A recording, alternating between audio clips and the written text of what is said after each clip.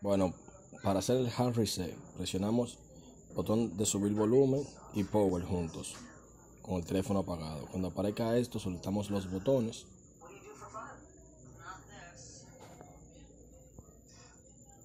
Vamos aquí a Wipe Factory Reset.